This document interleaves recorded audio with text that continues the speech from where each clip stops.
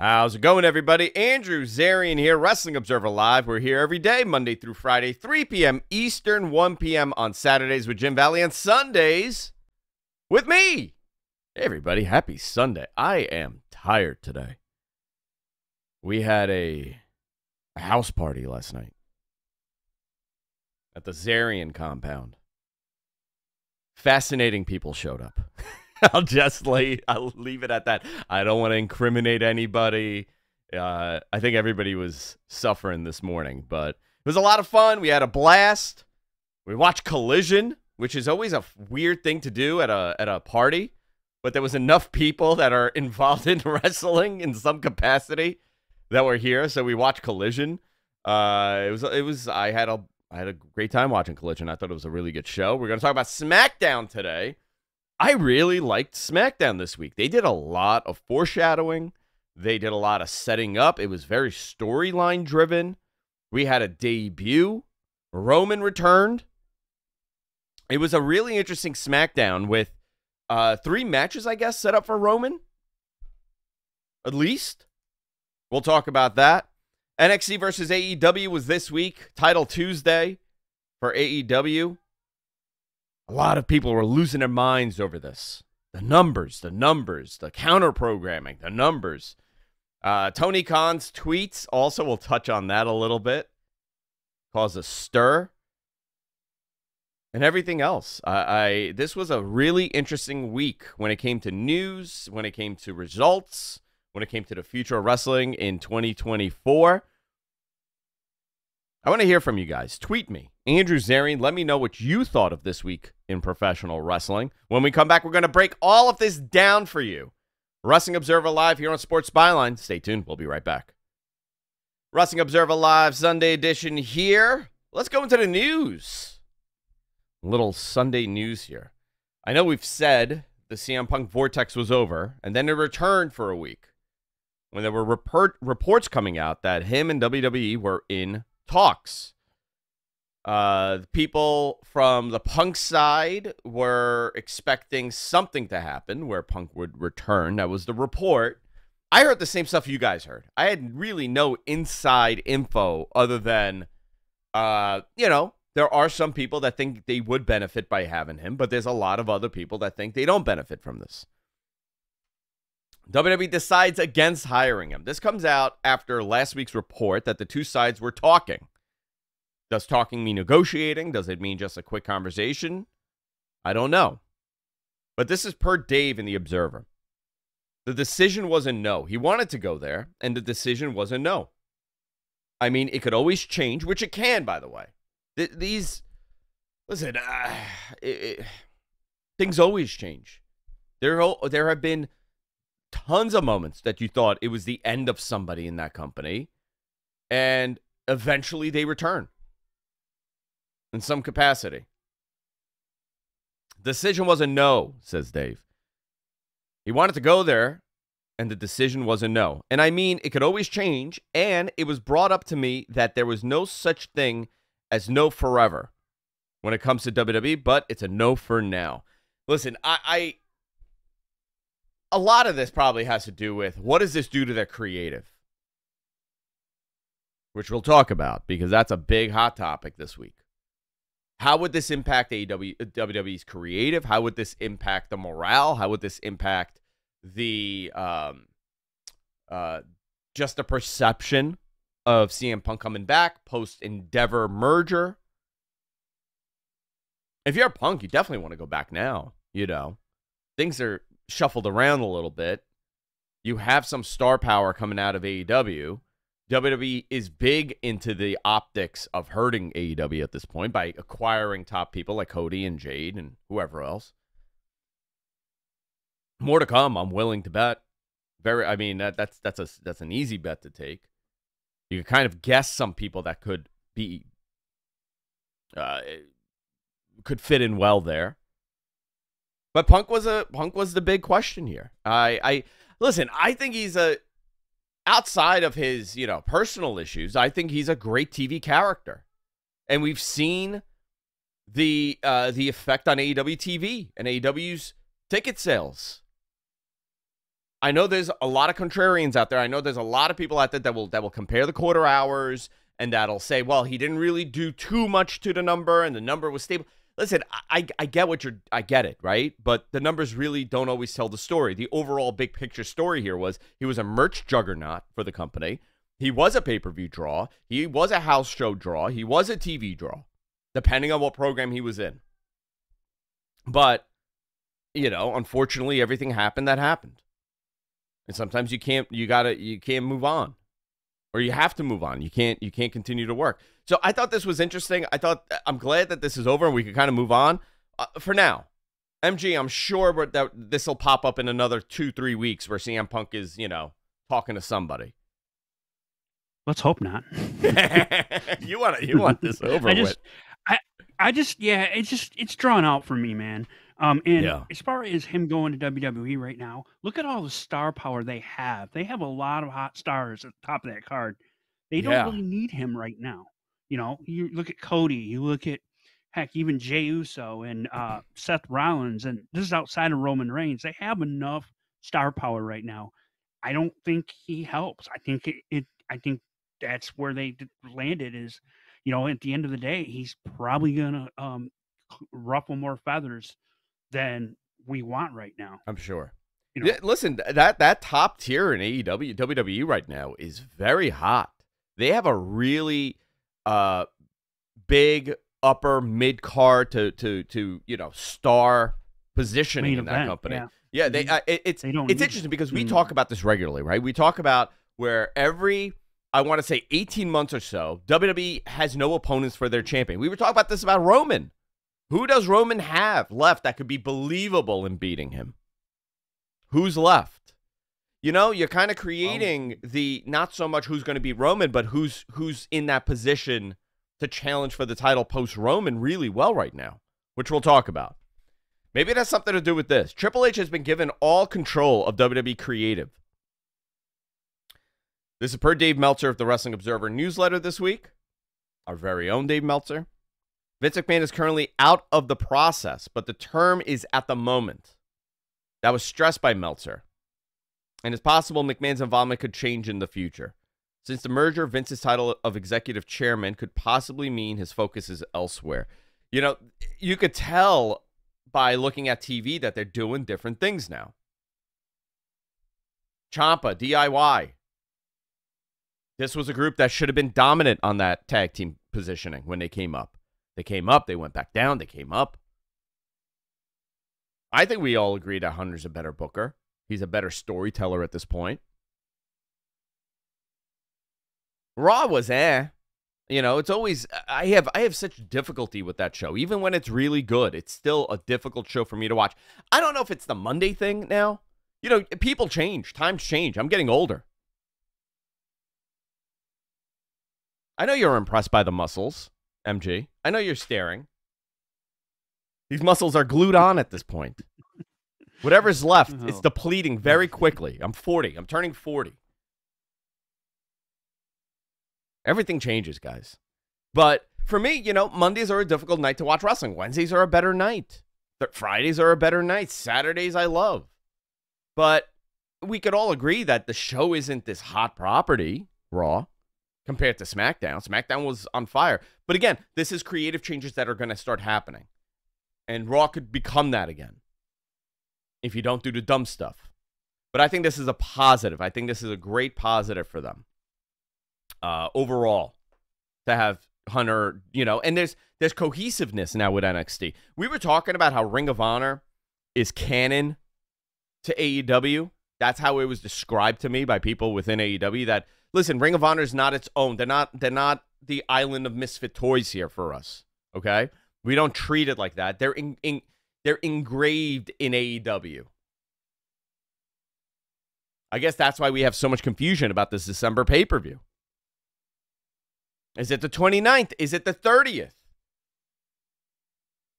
I will tell you, there is a pay per view in December. The original date I was told was the 29th, and that they were running the New York market. Now, again, I don't know the venue. Then there was a lot of conversation happening around, well, it could be Final Battle and it could be the Hammerstein Ballroom, which there is outside of the Garden. There's no better venue that I want to go to. That is the venue. I don't care. I'll pay a high ticket price for those tickets, and I'll go to the Hammerstein. Every I've never seen a bad show at the Hammerstein, including music. Awesome venue. However, that changed. Mike Johnson put out a report. I was it Mike Johnson. I, I don't want to. I don't want to. It was PW Insider. I believe it was. Yes, It was Mike. Uh, Mhm. and listen, Mike's very good. Okay, he knows his stuff. I had a great conversation about about the Mets with him. Uh, Mike said the thirtieth. If that's a Saturday, where are they running? That's New Year's Eve weekend. That's a busy weekend. You don't have too many venues open. If you're going to run a show in New York, it would most likely have to be the, the Coliseum if it's like an AEW pay per view. Just based on availability, what's available, what's not. They're not running the Garden, they're not running Barclays. UBS, I think, has an event. I mean, they could run a small event at the Hammerstein. That would be great. But the only other venue in New York, if, if again, if this is what I'm being, I can't confirm this outside of like the same people that heard the same thing, you know. So I'm not, I'm not going into this as a report, but I would say if you're looking at venues here in New York, and I know we got 30 seconds here, I would say the Nassau Coliseum is probably the only one really open that you could run. Billy Joel's running the night after on the 31st, which I would love to be there. Can you imagine ringing in the, the new year with Billy Joel singing a very sad song? Maybe it's a New York thing. I'm a huge Billy Joel fan.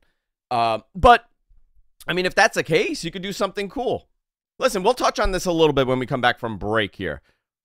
Because I want to I want to get your thoughts on this. Can they run it? Wrestling Observer Live here on Sports Byline. We'll be back right after this.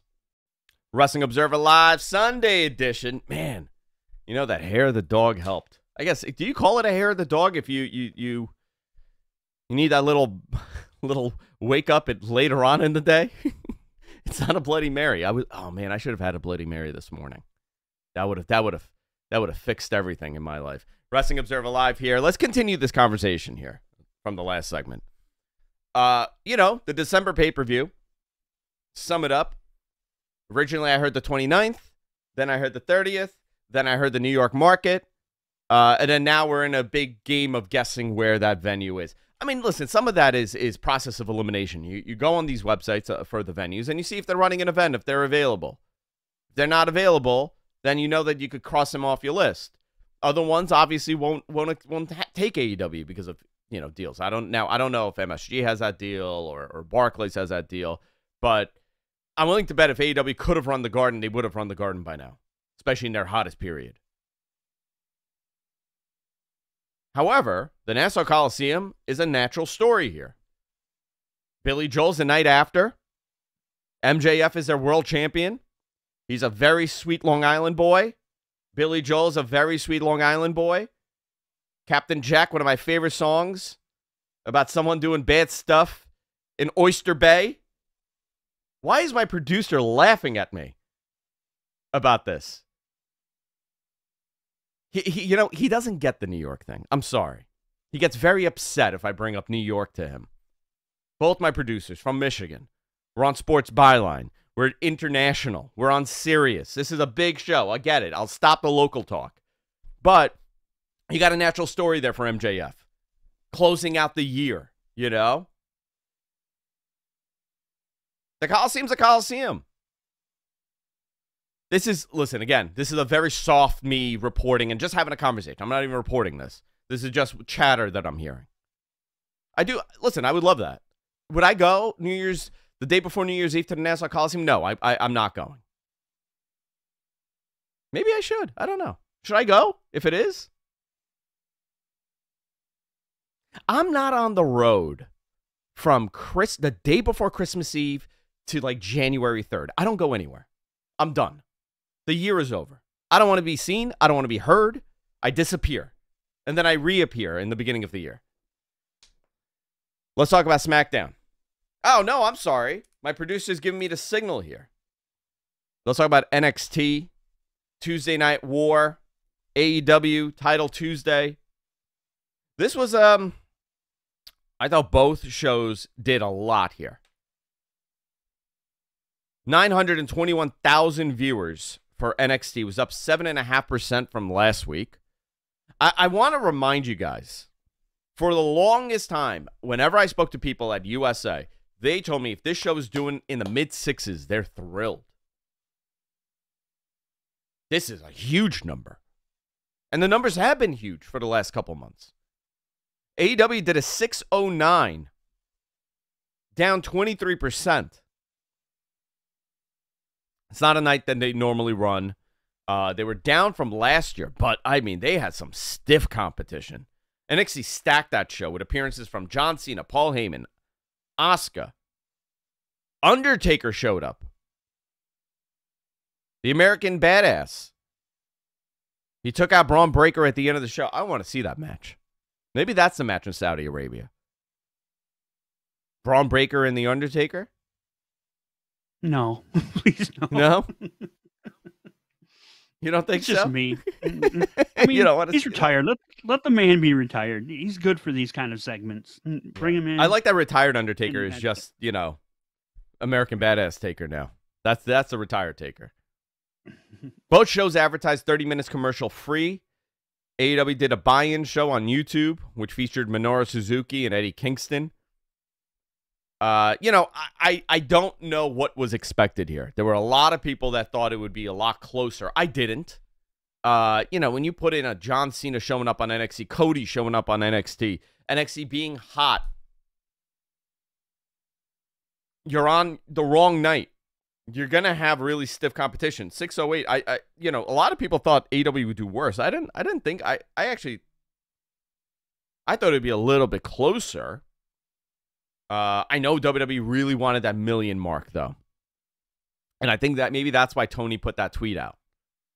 I think he might have heard that chatter too that they were really the the expectation was a million here for a lot of people.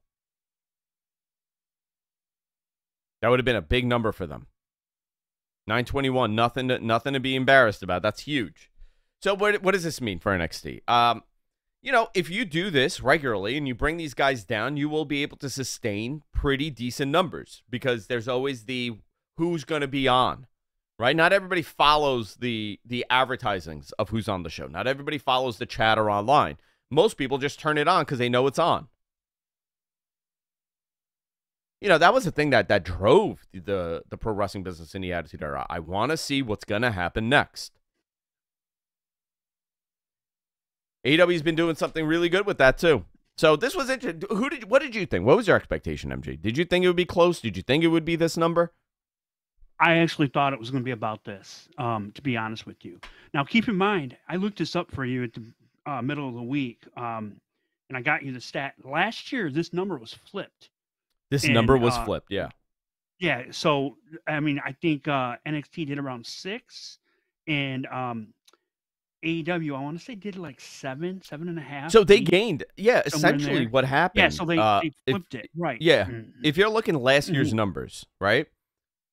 AEW uh, NXT gained a little shy of 300,000 uh 200,000 viewers. I'm sorry, let me say that again. A little shy of 300,000 viewers they gained. AEW lost about 150,000 viewers. And that obviously reflects about you know the counter programming that happened. I, I you know it was what it was. It was to be expected. But interesting. I, I this is an interesting and, there was more of a reason why this happened. I, I think that a lot of this was a test for for NXT to see what they could do, what kind of numbers they could do with competition. We obviously saw that they did a big number here. Would this continue? I don't think so. You know, the nostalgia runs out, the novelty of having these guys run out. Uh, a lot of people thought that The Undertaker was going to announce that he's the host for uh, Halloween Havoc. I would have loved that. You could have him come out in every segment as a different taker. that would have been great. Instead, we're getting we're getting uh, sh- uh, Shotzi again with uh, getting Scarlett. Are going to be the Yeah. Let's talk about Quite SmackDown here quite really quickly. Let's go into this because I love the show. I thought it was a really good show. John Cena kicked off the show. He was interrupted by Roman Reigns. Roman returned to SmackDown. Cena then introduced LA Knight as Roman's next challenger. LA Knight comes out, he cuts his promo. The crowd is so into this dude. And, it's it's actually interesting because this was organic. Right? This this LA Knight thing was organic. A lot of it has to do with because he does touch on the nostalgia act. And you know, uh, same could be said about what happened on Collision with Ricky, but they they approached it in two totally different ways. LA Knight comes out, he does his promo, the crowd is behind him, he introduces himself to Roman. This also leads to Solo Sikoa and LA Knight in the main event. Okay, cool. Pretty deadly defeated the Brawling Brutes. I have that top, by the way. I know a lot of people are asking. Rich and I on Mat Men, we wear the, those outfits weekly. You should check it out. You should watch us on Fridays. Triple H announces a new general manager with Adam Pearce getting a promotion and taking over Raw, and they introduce Nick Aldis as the new GM of SmackDown, former NWA World Heavyweight Champion, Impact Champion, right? Yep. What? Why are you nodding your head? No. No, I'm not. Not at all. No, like, are you? Do you don't want to see this? No, I do. I think it's great. I thought I loved his line when he was confronting Dominic, eh, in where he says, "I'm a big fan." Pause of your father. Yeah. Was- So here, here's my question: Why well. are I hope they utilize Nick Aldis as a wrestler? I- that's a that's a good question. I The mean, dude, I mean, he can he's go. Of course. And, you know, you look at him, right? He's 36 years old. He's not old. This dude is 240, 245, six foot four. Handsome guy. You're only going to use him as a manager? You're not going to try to get more out of him? I think this is going to change. I think you could get a match or two out of him. Definitely. I mean, Match or two? it- Oh, you well, don't think I that they'll make it? They'll convert him into you know wrestling full time? I, I well, it looks like that's where they're going with this. At least now. I mean, we'll see. I guess things could change. I I think he would be a great addition to that roster, especially someone like Cody. You know, he wrestles. Nick wrestles a very uh, old school style. You know, Yes. he's a big dude. It's Very- it's slow. It's methodical. Uh, him and Randy Orton could have like a, a 35 minute match, and everybody will complain online about it being too slow, and I would love that. Right. you know, that that's right up my works at, alley. uh, yeah, he definitely works a certain style. Yeah. And maybe that has something to do with it. I don't know. Yeah, uh, we're gonna we're gonna go through this quickly because we got a couple minutes here, and then we're gonna talk about collision in the next segment. But he uh, insulted Dominic. Aldis announced that uh, that the return that the return trade for Jey Uso was Kevin Owens. There was a uh, Dragon Lee vignette that aired. He's officially on SmackDown. Great addition. Backstage, Nick Aldis called Charlotte in and told her that uh, she gets a title shot against Io. Charlotte's then confronted by Jade. Triple H is grinning the entire time in the background. Maybe this is the WrestleMania match. Maybe this is, again, foreshadowing. A lot of foreshadowing. Cody and Jey Uso defeated Grayson Waller and Austin Theory. Bloodline confronted Cody afterwards. LA Knight in the main event defeated Solo Sikoa. Cena and Solo both got involved. This was a great show. After the match, he spear he was speared by Roman Reigns and it ended the show. Great show. Very, very good SmackDown. If you haven't seen it, go check it out. Go watch it on demand. When we come back, talk about collision and a whole lot more. Wrestling Observer Live. Wrestling Observer Live. Here on Sports Byline. Let's talk about collision. Last night's collision. I had a party at my house. We're all watching this. They did not do the cold open. The Saturday night's main event cold open. Which was interesting. I like those cold opens, but you know what's been funny? You know, they first started off like very fiery hot, right? Everybody was doing the pro wrestler promo in the beginning. And then it kind of turned into like regular backstage interviews with like no umph behind it. I think all of those initial promos need to be fired up, screaming at me. I want to be yelled at by these people. I want to be pointed at. I want to be looked at. I want Jon Moxley terrifying me. but it kind of it kind of rolled back. Like when FTR was doing it, they're more subtle. Uh, Ricky was more subtle the last couple weeks. So I don't know if they scrapped this or or it just wasn't working. I don't know. I don't know if this is going to continue. But the show opened up very strange uh, commentary team here. Yeah, Tony Schiavone on commentary as well. What did you make of Tony on commentary? I loved it. For me, I mean, you know, I'm a little bit older than you, and I, I was I said this in our little chatting last night about this. Yeah, I said, you know, my entire wrestling fandom, this guy's been the voice of it in in some way.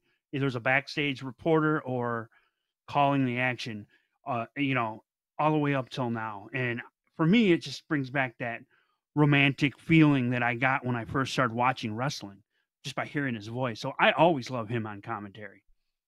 Mm. I thought it was great. I thought he was fantastic. Um, very much enjoyed it. Uh, I thought that commentary team needed a little bit of life to it. I don't know. I like Kevin Kelly. I, I like Kevin Kelly on commentary. Maybe maybe he just doesn't mesh well. It's I, yeah, I don't know what it was. It just it did feel different, and it did feel like he was taking a back a step back for sure. Uh, yeah, he did take a step back. I mean, Nigel's great. You know, Nigel's a fantastic color commentary guy. Ian Riccaboni is really strong. I just felt like maybe they needed that third person. Maybe they needed kind of a, a, a older leadership position on that on that commentary. I, I liked it though. Whatever it was last this week, very much enjoyed it. Very much enjoyed the show. Uh, the show began. Edge called. I see. I keep doing it. I see Adam Copeland. I see it written. I just can't not call him Edge. Right? This is a problem. It's a you problem, man. It's a me problem. It's a me problem. Adam Copeland called out Christian Cage looking for an answer. Christian came out with Luchasaurus, Nick Wayne, and security detail. This is the best Christian has ever been. I don't care about the in ring, right? I can't, I'm not going to tell you, you know, 20 years ago at his peak doing all that stuff, 15 years ago at his peak doing all that stuff. It's not the same, but this is a whole different character. He's wrestling. I, I love his matches. It's a very different Christian. Fantastic. Christian came out, Luchasaurus, Nick Wayne, security detail. Uh, they cut a segment here. I thought this was it. There was a lot of people in this segment. Who who else showed up here? Because you didn't add it in the notes. You had Bryan Danielson. You Danielson had, showed up. Um, yeah, you had Ricky Starks and Big Bill. They were part of it. I got to tell you Uh, though, Adam, Yeah. Adam Copeland, that that that back and forth with Ricky, I don't think it helped Ricky. I think it was very off the cuff. I don't think there was any uh, I, scripting I think that. I think it was were just- very yeah. sharp. I think I don't know if if Adam was uh, annoyed a little bit by the comment. I don't know if they planned this. It did come off very sharp. So if it wasn't planned, uh, these two did a good piece of you know back and forth and made it seem real. I mean, do you want to point out the most obvious thing about Ricky? That's a maybe it's a possible negative for a lot of people. He used a word. I, I mean, Adam Copeland used Yeah. a word. I didn't expect him to say. He he he pulled a Kevin Nash there. Mhm. Well, when he when it was on the nose, when you actually mentioned The Rock, he let everybody know. It's like, oh, okay, now I see what you're doing. Yeah. That, yeah. You're right. That could be bad for him going forward. I don't know. I was talking to someone from AEW earlier today, and I was like, I was like, yeah. Uh, what did you think of that? And it was it was a shovel. he definitely had a shovel in his hand there. So I don't know. We'll see what happens. I, I mean, Ricky's such a great piece of talent. He, he's a great character, great talent. He's I, I young. he will recover. He's young, uh, but you know when you have a guy that's six foot five like Edge, and he was never considered a big man in WWE. I mean, this is this was a contrast a couple weeks ago on TV. Edge is standing there, Adam Adam Copeland standing there, and it was Kenny Omega and and and Chris Jericho, another WWE megastar, and he's towering over these guys like by by a foot. It was like five feet taller than everybody visually. I'm not saying you know. He looked a lot bigger. ROH World Television Championship match. Samoa Joe defeating Willie Mack. Interesting to see Willie Mack back on TV. I haven't seen him wrestle on, on TV for a while. Joe is so dominant. CJ Perry recruited Action Andretti in a backstage segment. Later, this m- led to a Miro video promo. Miro beat him up to send a message. And he wasn't going to let her do what she wanted. So this is becoming a, a storyline. We're continuing the Lana Rusev story from. WWE. this this is turning out to be one of my favorite stories. I think this they're they're adding layers to this because they could have just put these two together, but I think if you think about it, this could be kind of like their Macho Man Elizabeth story, where it- they play it out alright. over a period of time, and you know, and then they have the big big reunite, and it's a big moment. They can do something like that. I I, I want to see where this goes. There was a Danhausen video package.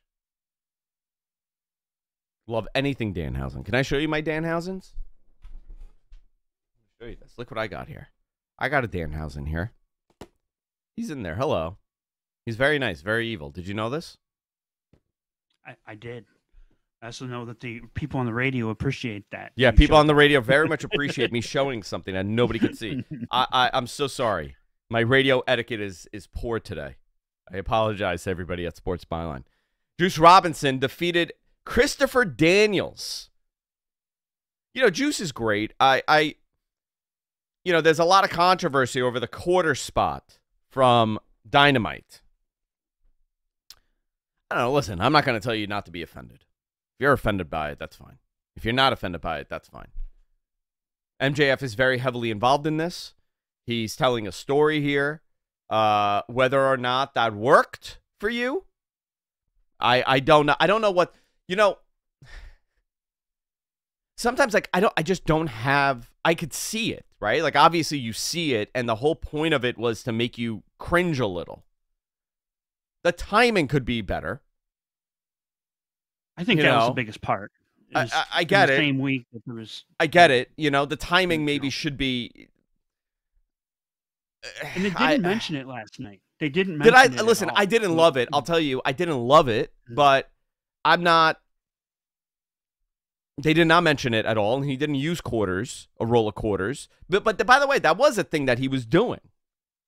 Juice. He would hit you with the roll of quarters, and the, and the quarters would go everywhere. Right? That was part of his thing. I think adding Friedman to it uh, on the on the roll a- and with MJF's backstory, that just that added a lot to a to a terrible week in in the real world. So listen, like I like wrestling when it doesn't incorporate the real world. That that's how I am. I like that with movies. I like that with all of it. Like I I, I don't like current day events being injected in storytelling. I like I I watch this to escape. So that's my issue. Uh, but you know, if you were offended by it, you have all the right to be offended by it, and if you, you weren't, that's fine too. But I, I I'm curious how they how they adjust here.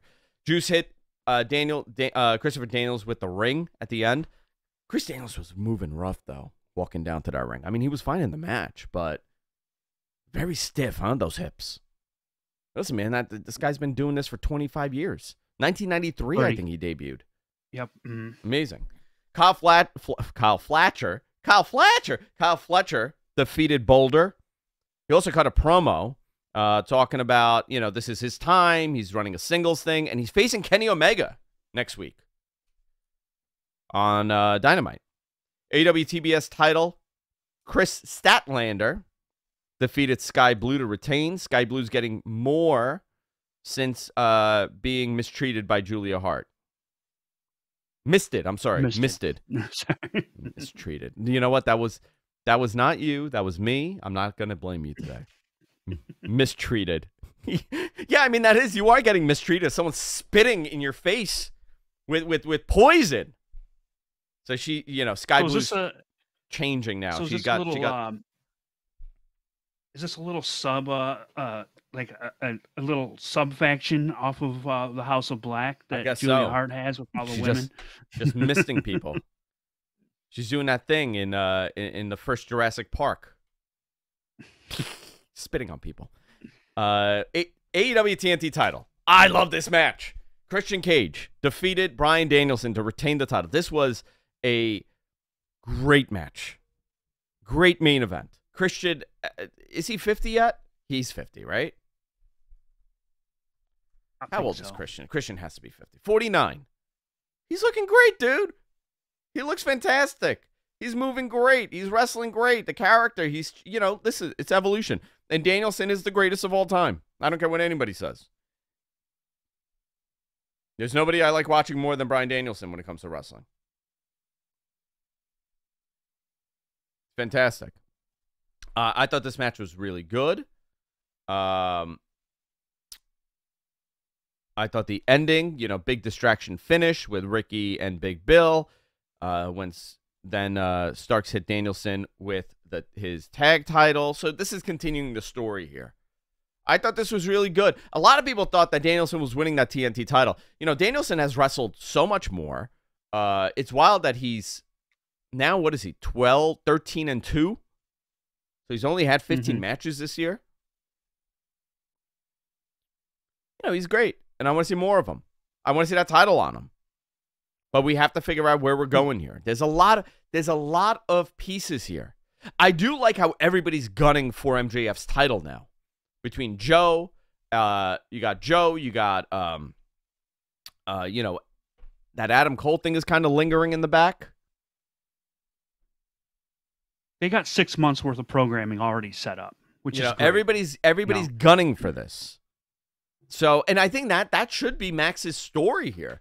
That you know he got really overwhelmed with every challenge after challenge after challenge until someone beat him, and Adam wasn't there to help him. And a lot of that maybe had to do with Adam Cole's jealousy that he's the world heavyweight champion. This I I don't love the the dynamic between Adam Cole and and MJF on TV. I don't love the like the best friend story, but now like now you're able to tell something a little bit more because you're like, well, where is he? Why is he hanging out with Roddy and not there for Adam? Why is he delaying his surgery? You're adding different elements here that are that are changing my opinion of this. Listen, this is why I always say you gotta hold, you gotta wait and see how this works. You gotta wait till things play out, and then you could be like, "Well, I liked it, I didn't like it." All right, let's see where this goes. You got a pay per view in November. You got a pay per view in December. We don't even know. Maybe, sorta. Yeah, I guess he's he's ROH champion, so he's on that card. Fascinating stuff. Going to our final segment here. Wrestling Observer Live here on Sports Byline. We'll be back right after this. Wrestling Observer Live, Sunday edition, final segment here on Sports Byline. I thought it was a great week for wrestling. There was a whole lot of other stuff happened too, and we just didn't get to it here. Dynamite had a whole bunch of stuff. Shida defeated Saraya. We didn't even talk about this because I had no time. Uh, excited to see Shida with the title again. I know that Saraya's uh, title reign was going to be short. Also, Orange Cassidy defeated Rey Fenix to win the AEW International title. This will lead most likely to another match with Jon Moxley when Moxley's cleared. Loving that. Into it. I thought this week was a very good week. Everybody did a great show. Everybody did a great show here. Um, I, you know, I'd like to see more of this.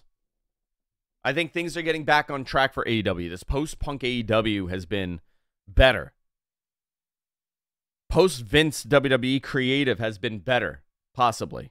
We'll see. This is all new here. There's a lot up in the air. TV deal coming up. AEW on Max. That's still looming. Right? You got what's happening with Monday Night Raw, what's happening with NXT, SmackDown moving to USA, off of Fox. There's a lot of things happening. Not to mention, you know, New Japan's still doing good piece of business. Impact has been doing really good TV. Unfortunately, I don't get to watch it as much because there's so much other wrestling on. But enjoy what you enjoy. Don't watch what you don't like. Why are you wasting your time? And I want to hear from you guys this week. Send me a message. Let me know what was your favorite part of this week in professional wrestling. Tweet me at Andrew Zarian. I want to know. It helps me. I get a good gauge of what's going on here. Next week, we have a whole lot more to talk about, and we're going to cover everything that happened in professional wrestling. And that's it. We're done. See you all next time. Take care.